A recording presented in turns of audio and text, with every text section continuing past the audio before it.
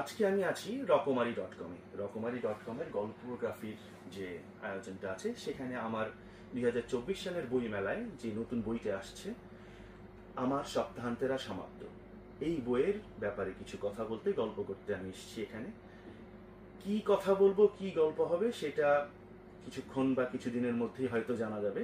কিন্তু আজকে এখানে যে এসেছি, এখানে আসার যে অনুভূতিটা, সেটা হচ্ছে যে লেখক হিসেবে এরকম একটা জায়গায় আসব, সেটা কখনো ভাবিনি, বা এরকম প্ল্যাটফর্মগুলোতে আমি যে চলাফেরা করব, সেটা কখনো ভাবিনি।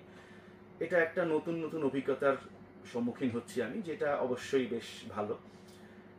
লেখক হিসেবে আমার তৃতীয় বই বইমেলায় এসছে, আশা করি পাঠকের আপনারা সবাই আমার সঙ্গে থাকবেন।